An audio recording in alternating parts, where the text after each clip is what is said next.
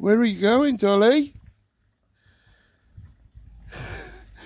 It's a very big hole, you know, considering you go right under the shed.